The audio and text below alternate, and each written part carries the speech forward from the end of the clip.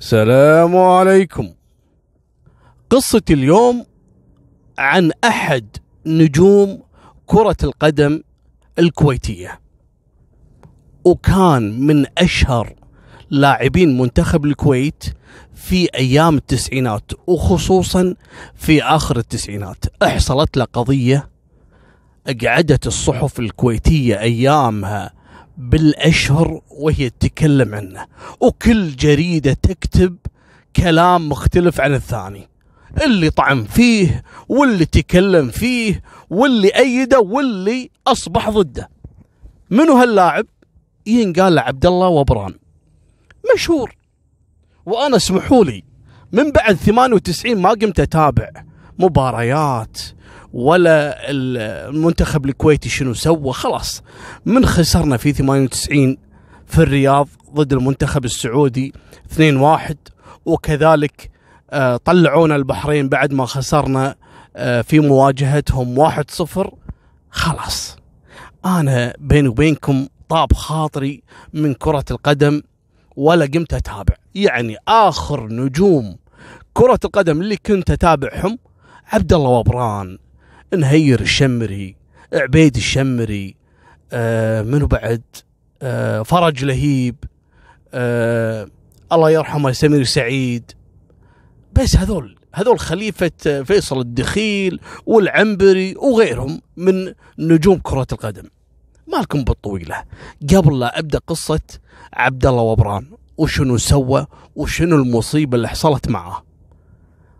أحب أنوه أني وفقا لطلب كثير من المتابعين أني أذكر قصة اللاعب المشهور ناصر السيوحي الله يرحمه وقصة مقتله أو وفاته وشنو الأسباب وليش لقوه في منطقة أو في مكان مهجور أو مكان يعني ليس للسكن مكان غريب وشنو ظروف مقتله.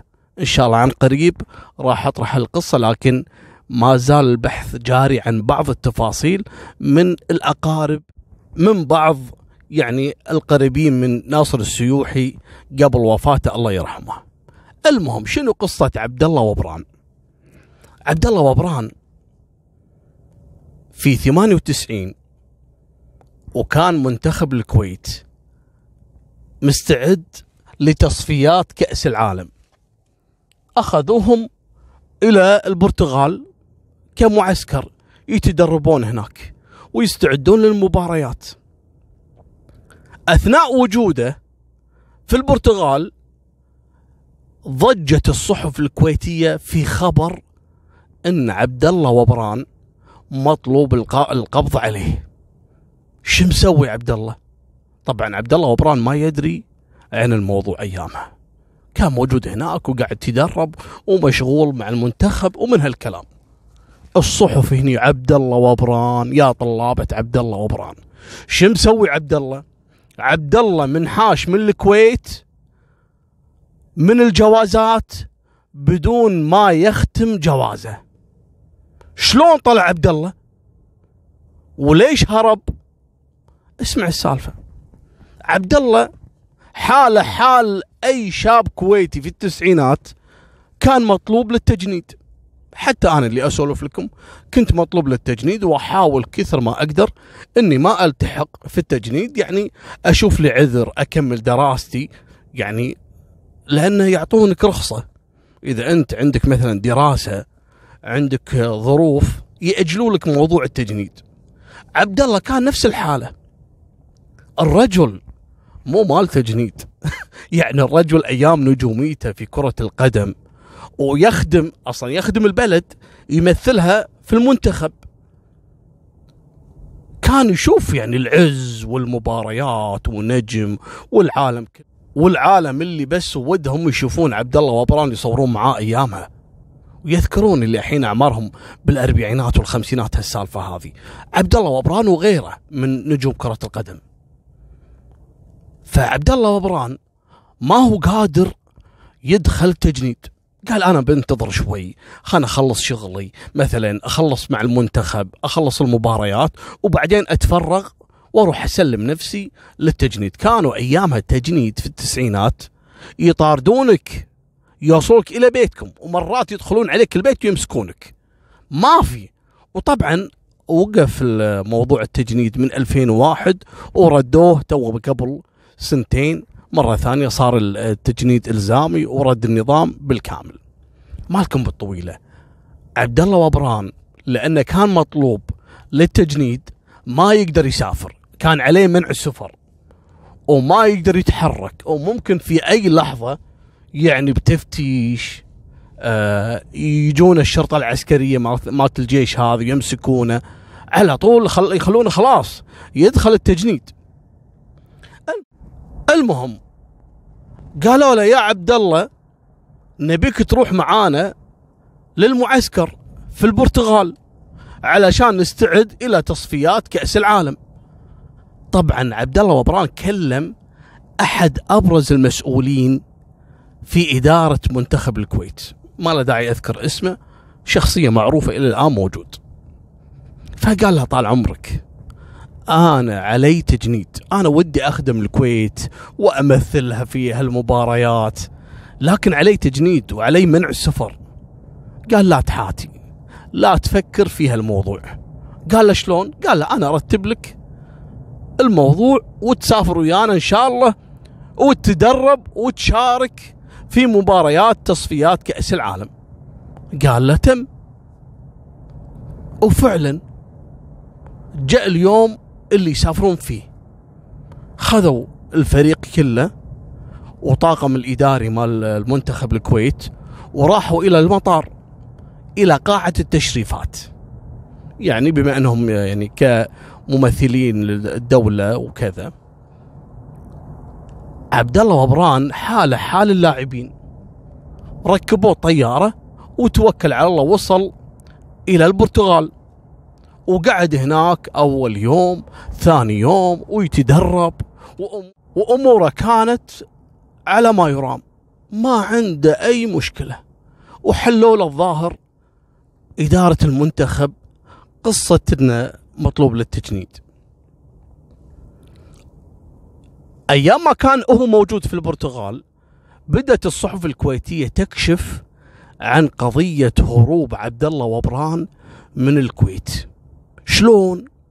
قالوا عبد الله وبران منحاش يعني عبد الله وبران طلع من الكويت حتى بدون ما يمر على الجوازات ولا يختم جوازه. طبعا عبد الله وبران اهله موجودين في الكويت انصدموا وخايفين عليه. وليش يا عبد الله تسوي كذي؟ عبد الله يتصل كل فترة وفترة من هناك. يطمن أهله يقول لهم أنا ترى موجود إن شاء الله والحمد لله وأمورنا طيبة المهم يوم اتصل يكلم والدته وأخوانه قالوا له يا عبد الله أنت شو مسوي؟ قال لهم شو مسوي؟ مو مسوي شيء أنا قاعد تتدرب الحين بالمعسكر قالوا له أنت شلون انحشت من الكويت؟ قال أنا منحاش شلون منحاش؟ قال يا ابن حلال الصحف الكويتية كلها تتكلم عنك إنك منحاش وإن في اختراق من الأجهزة الأمنية اللي على الجوازات والموظفين كلهم مات الجوازات كلهم أحالوهم للتحقيق ونقلوهم كل الضباط والأفراد والمدنيين كلهم بسبتك يا عبد الله. انقلوهم من دوامهم لأنك طلعت من الكويت بدون ما تختم جوازك. قال تتكلمون جد ولا تغشمرون؟ قالوا يا ابن الحلال شوف الصحف ما توصلكم. قال إيش دراني؟ إحنا في البرتغال ما ندري. وتعرفون قبل ما في سوشيال ميديا الخبر مو بسرعة يوصل. والظاهر إن الطاقم الإداري يدرون بس ما يبونه ينشغل أو يفكر في الموضوع. مخبين عنه. عبد الله وبران سوى. راح على طول إلى مدير اللعبة. قال تعال. عطني جوازي.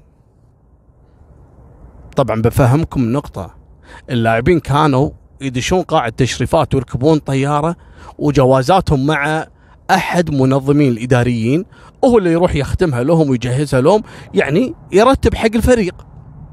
فعبد الله ما شاف جوازه. فراح حق مدير اللعبة قال له عطني جوازي بشوفه. قال له ليش فيك؟ قال له عطني إياه لا أرتكب فيك جريمة الحين أبي أشوف جوازي. يوم عطى عبد الله الجواز ويفتح عبد الله ويدور الختم خروجه من الكويت.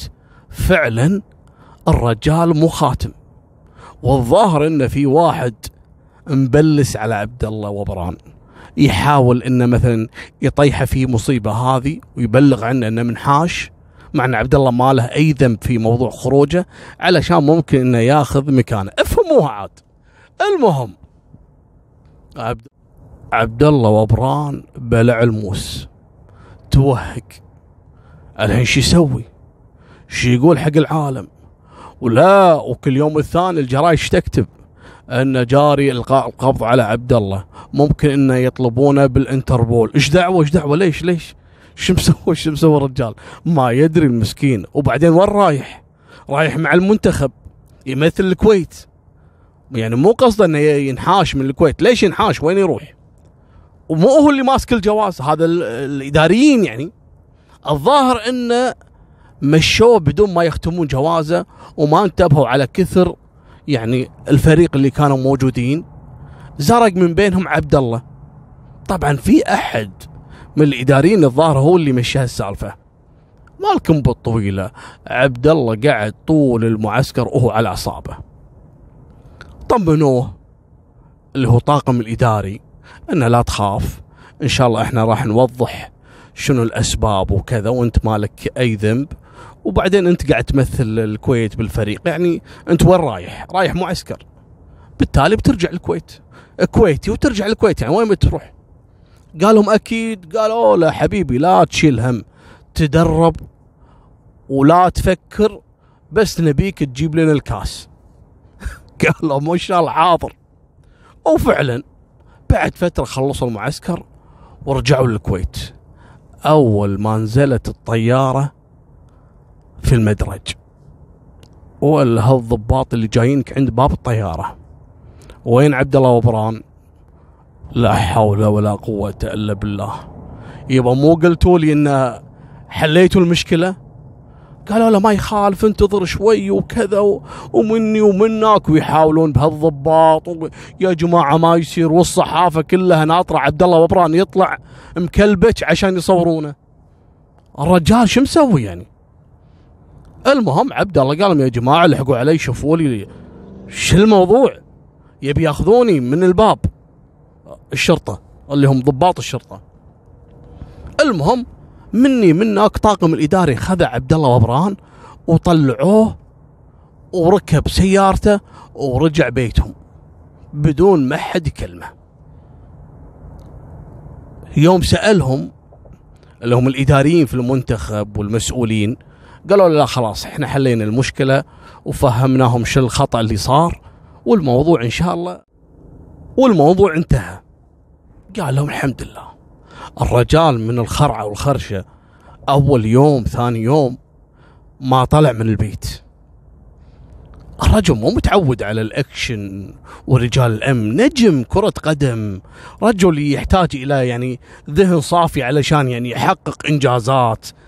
فما بالك يعني يتفاجئ يعني بسجن والشرطة يدورونه والقاء قبض والناس تسولف عنه بالجرايد بهالموضوع هذا. مالكم بطويلة ثاني يوم. قال له اخوه أنت ليش قاعد بالبيت؟ قال له يا أخي والله العظيم كرهت الطلع من البيت. أخاف أحد يجيني ولا يمسكون من هالضباط وهالشرطة على نفس القضية وأنا مالي ذنب. قال يا ابن حلال لو كانوا يبونك كان خذوك من داخل البيت. خلاص ما عندك شيء أنت. امشي امشي خل نروح نصلي. قال امشي توكل على الله. وهو مسكين بعد يبي يطلعه وقال منها أروح أصلي وأذكر الله وأبعد الوسواس عني. أول ما طلع عبد الله وبران مع أخوه وهم في الشارع قبل لا يوصلون المسجد ولا هالجمسات السود المظلله أسود بأسود تسكر الشارع بالكامل وينزلون منها ضباط الله يذكرهم بخير ما أبي أذكرهم يعني هم ضباط وهم أصلا يعني محترفين كرة قدم وفي منهم كرة يد ويعني معروفين عندنا في الكويت. هم متعمدين جابوا هالضباط هذول علشان لهم علاقة في عبد الله وبران إنه يأخذونه بهدوء وخصوصا وخصوصا هم ماخذينه من بيته. فما يبون أي مشاكل تحصل ولا أحد يتدخل في يعني منع القبض عليه. من هالكلام هذا ماخذين احتياطاتهم رجال الأمن. هلا حياكم الله. قالوا له يا عبد الله أنت عزيز وغالي لكن عندنا تعليمات من وكيل وزارة الداخلية. أيامها الله يذكره بالخير ماني ذاكر اسمه. الكويت كلها تعرفه. كان الله يعطي الصحة والعافية ويطول بعمره. يعني في قمة الإنسانية لكن كان شديد ما مر على الكويت وكيل وزارة الداخلية مثله. المهم قالوا يبيك بنفسه. ناخذك ناخذك يا عبد الله. امشي ويانا بهدوء أحسن لك. قال لهم عبد الله يا جماعة والله ما سويت شيء ولا لي ذنب في الموضوع لكن حاضر. بروح وياكم. وياخذون معاهم عبد الله ويودونه إلى مبنى المباحث الجنائية. أول ما دخلوا قالوا عبد الله اسمح لنا بندخلك للسجن النظارة إحنا نسميها. ما أدري شو يسمونها عندكم أنتم في الدول المختلفة. إحنا نسميها النظارة. يعني المكان اللي يكون فيه شخص ينتظر داخل. المهم وهو رايح للسجن هذا ولا تجيهم تعليمات قاسية. عبد الله وبران ما تحطونه بالسجن مع المساجين. لا لا لا لا لا. لازم يتعاقب على اللي سواه. وأنه طلع تهريب من الكويت وأنه هارب من التجنيد. حطوه في سجن انفرادي. يعني حتى بابلو اسكوبار يوم سجنوه السجن هو بانيه وهذا مجرم. عبد الله وبران كان نجم كرة القدم والرجل مسكين. يعني رايح وياهم يتدرب علشان منتخب ومو هو اللي ماسك الجواز وهم اللي قالوا له إحنا مرتبين لك الأمور وماخذين لك يعني مثل الإذن إنك تطلع تدرب وترجع مرة ثانية. المسكين تورط وقالوا له الا انفرادي قال لهم يا جماعة أنا بحياتي ما دخلت نظارة مخفر ولا سجن عادي. الحين بتدخلوني فجأة انفرادي يعني من هالنجومية وكل شوي واحد مصور معاي وصحف وتلفزيونات وكذا والحين بمثل الكويت في كأس العالم. وأنتم تبوني الحين أدخل سجن انفرادي؟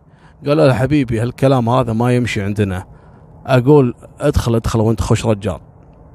قال لهم حاضر.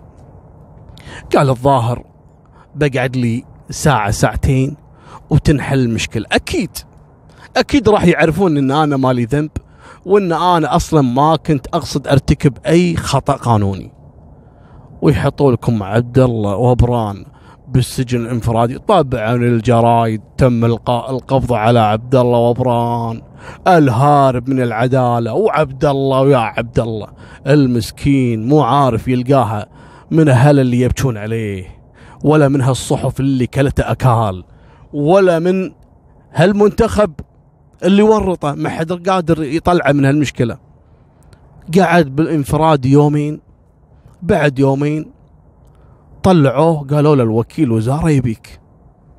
راح حق وكيل راح الوكيل الوزارة اللي أقول لكم شديد الله يعطيه الصحة والعافية. قال الحين بنطلعك. لكن ما نطلعك تروح البيت يا حبيبي. قال أجل وين؟ قال الحين راح نسلمك إلى الشرطة العسكرية. اللي يسمونهم الشرطه العسكرية تبع الجيش.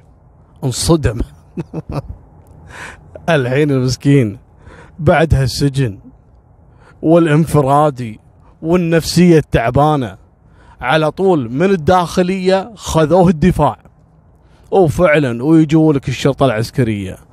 ويكلبتون عبد الله وبران ويطيرون فيه إلى الجيون اللي هو معسكر الجيون علشان يدخل في التجنيد ويحلقوا لك إياه صفر.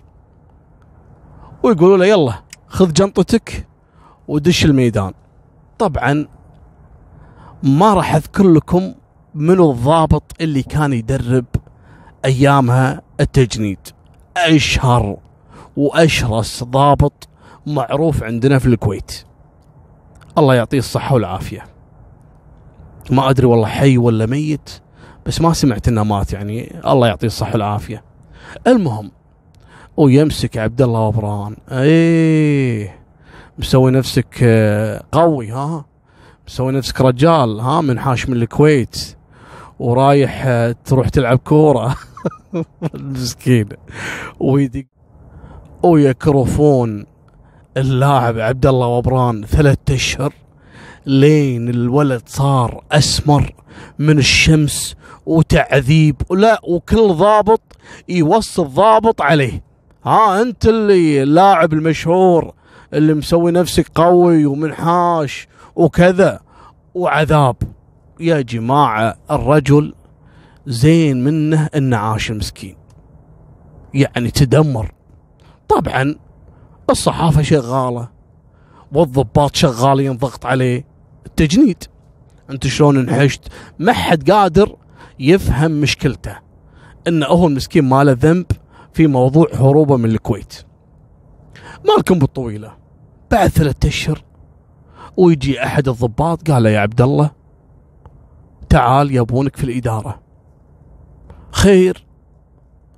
قالوا له شوف إحنا بنطلعك الحين علشان تروح البيت وتريح وعلشان تقدر انك تشارك في تصفيات كأس العالم.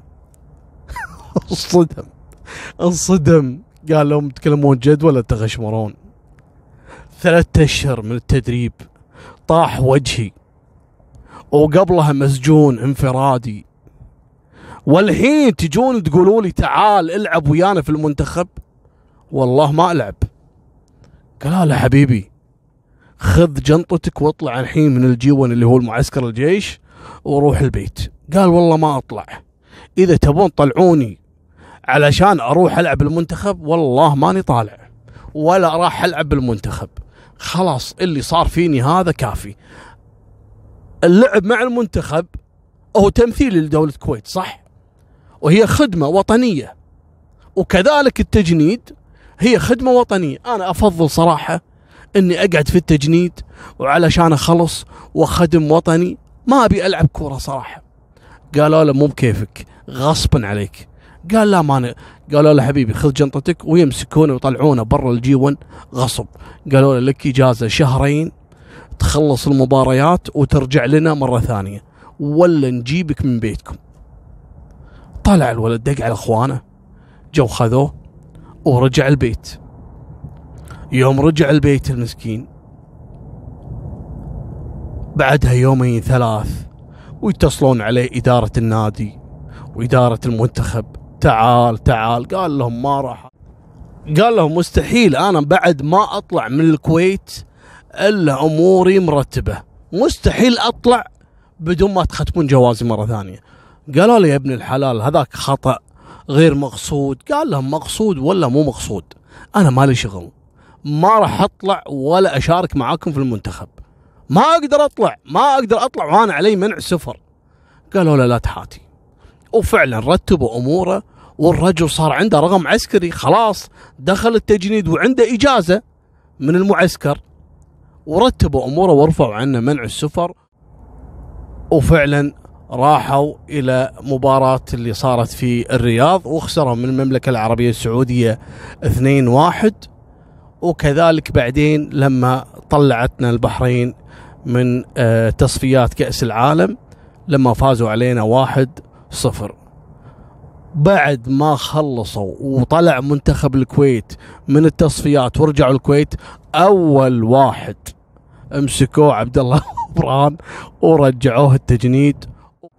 وفعلا رجع للمعسكر وتدرب وعدى الفترة المسموحة والمطلوبة منه في التجنيد. لكن من سوء حظه انه بعد ما خلص هالمدة هذه المطلوبة منه أصلا لغوا التجنيد كله وتم آه، إعفاء جميع الناس من موضوع التجنيد الإلزامي.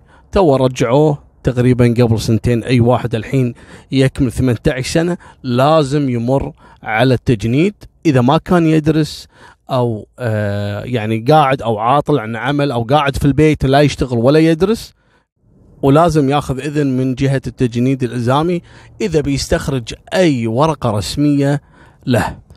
طبعا الشاهد في الموضوع أو النصيحة اللي فيها الموضوع تذكرون قصة الميموني الشاب اللي توفى على إيد ضباط في المباحث اللي عذبوه وطبعا تم اتهامهم رسمي من الدولة وحكموا عليهم اللي انحكم في الإعدام واللي انحكم مؤبد واللي انحكموا الأفراد اللي معاهم على 20 سنة و15 سنة و10 سنوات.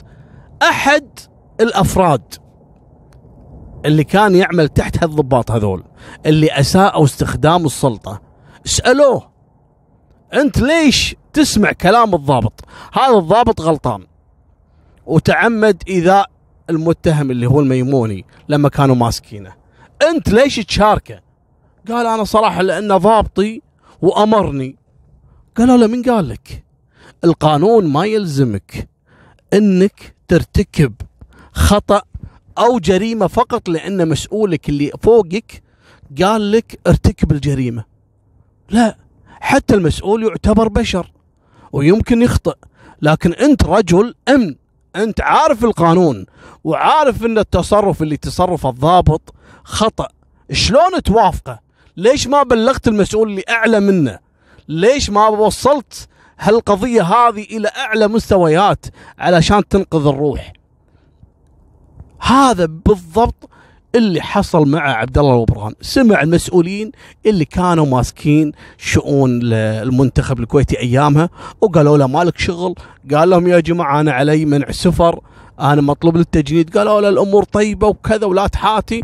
وفعلا مشى معاهم وتورط. هالورطة هذه اللي الكويت الحين كلها تعرفها لكن الكل كان يعتقد إن عبد الله وبران كان أخطأ في هالموضوع وإنه فعلا هرب وإنه كان يعني ما كان يعني ملتزم في القانون لكن حقيقة الأمر أن الرجل يعني آه تورط لأنه سمع آه كلام أحد المسؤولين في المنتخب نفسه. هذه نهاية سالفتنا. وفمان الله. مع السلامة.